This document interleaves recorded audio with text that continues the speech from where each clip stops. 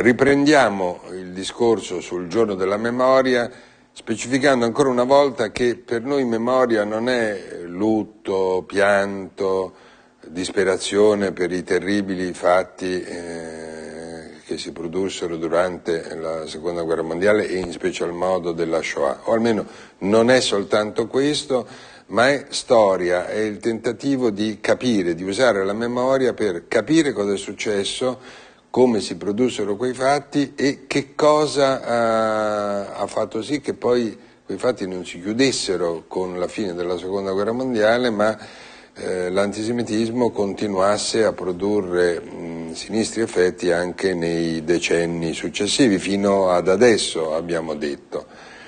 Bene, abbiamo visto documenti molto importanti e altri ne vedremo ancora. Adesso vedremo delle puntate di eh, Correva l'anno sulle leggi razziali, cioè sulle leggi che in Italia imposero la discriminazione contro gli ebrei.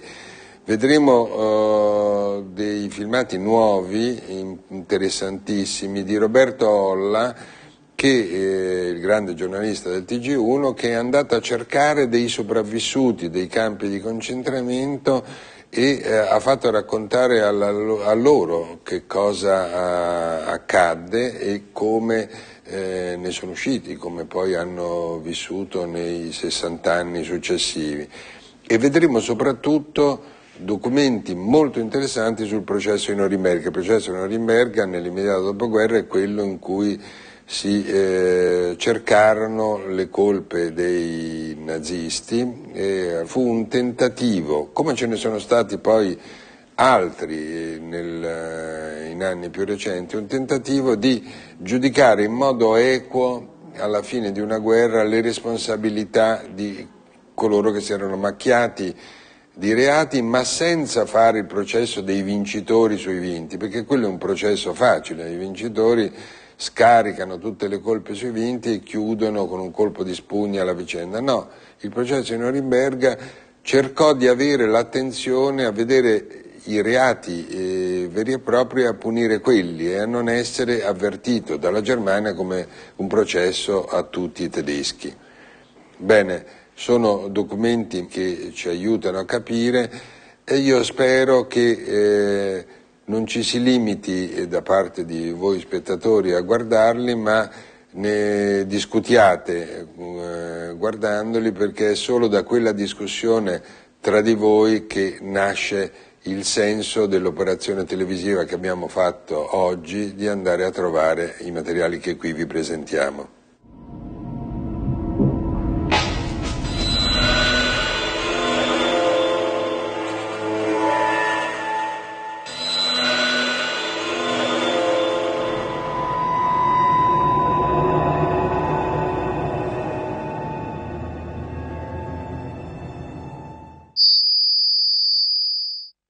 Mussolini, fascismo, ebrei. Una storia complessa, contraddittoria. Prima il dialogo, poi la minaccia, la persecuzione e infine il dramma. Una storia italiana che inevitabilmente si intreccia con la follia nazista. Una storia che inizia in camicia nera e finisce nelle camere a gas.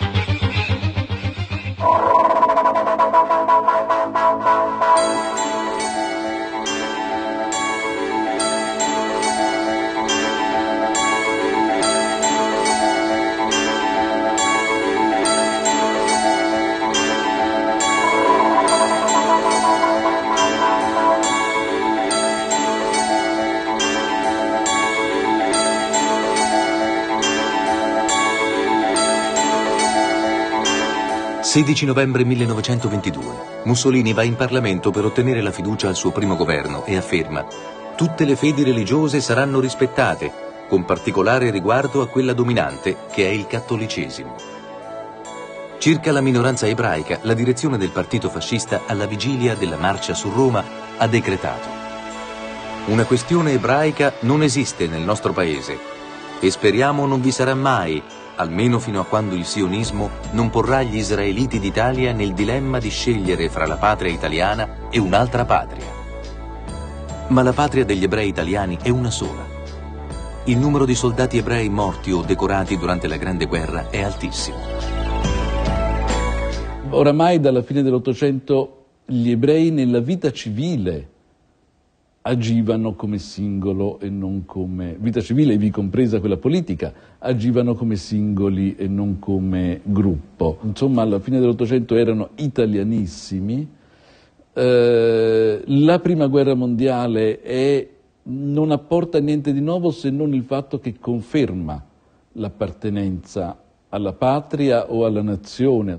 Nell'anno della marcia su Roma, quasi 800 ebrei sono iscritti al partito fascista.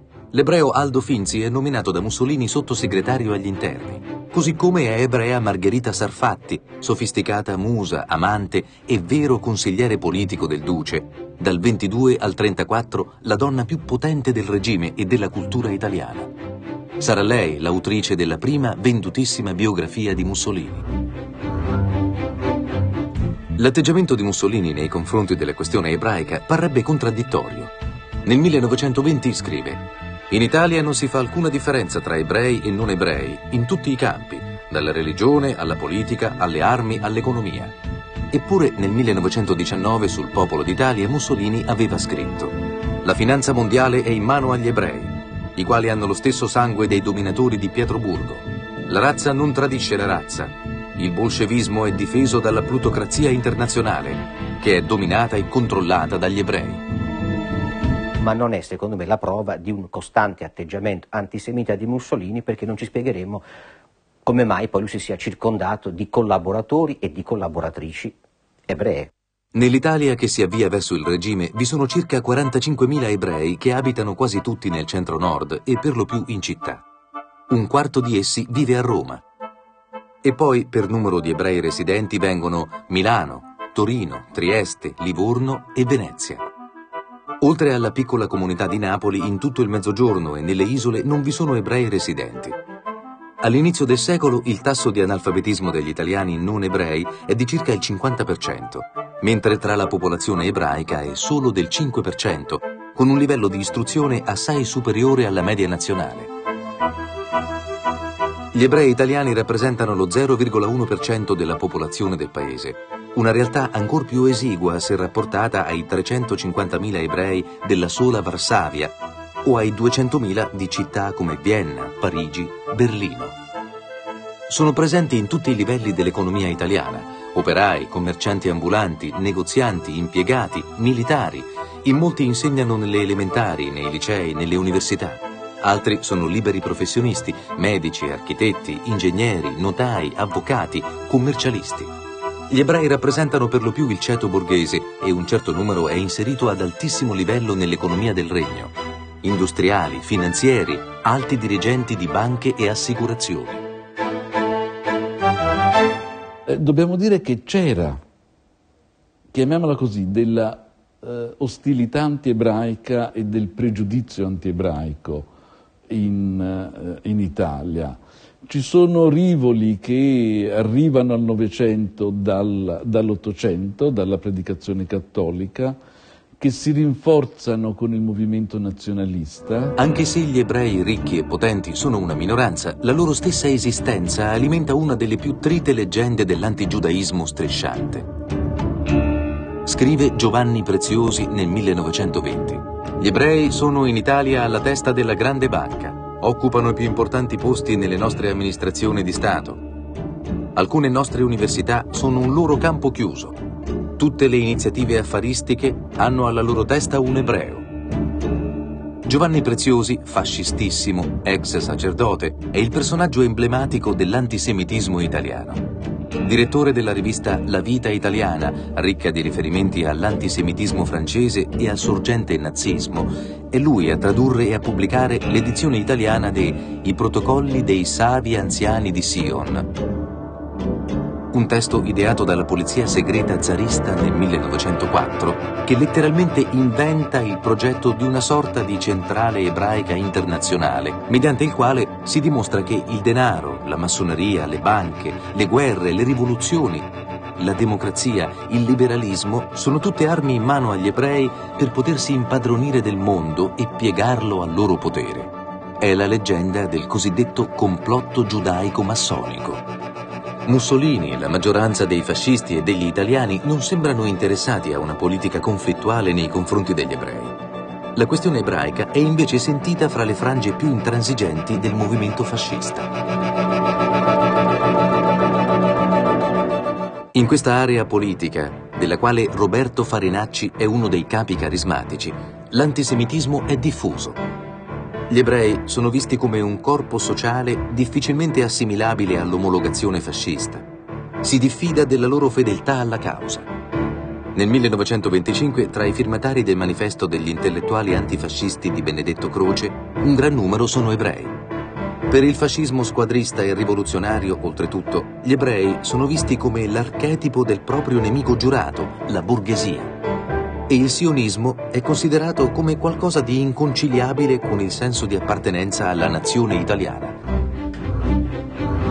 Il sionismo, sorto verso la fine dell'Ottocento, è il movimento internazionale tendente a rivitalizzare l'identità ebraica e a costituire uno Stato ebraico in Palestina. Negli anni venti nell'ebraismo italiano i sionisti sono una piccola agguerrita minoranza e la maggior parte degli ebrei italiani non sono sionisti o sono addirittura anti-sionisti. Erano quella parte anche ampia di ebrei italiani che dicevano noi siamo italiani, c'è un futuro per l'ebraismo in Italia, non abbiamo bisogno di andare là, in Palestina, qui siamo nati, qui abbiamo combattuto la prima guerra mondiale, qui moriremo, qui abbiamo eh, cultura, amicizie, interessi, affari, amori, tutto quanto. Mussolini compie alcuni passi nei confronti del sionismo. Tra il 26 e il 27 ne riceve i massimi leader mondiali e autorizza la costituzione di un comitato Italia-Palestina, volto ad agevolare il transito in Italia degli ebrei diretti in Palestina e a controbilanciare la presenza politica inglese in Medio Oriente. E da parte degli ebrei italiani si moltiplicano le manifestazioni di fedeltà all'Italia, al regime, a Mussolini. Aumentano le iscrizioni di ebrei al Partito Nazionale Fascista, ma nel 1928 la doccia fredda.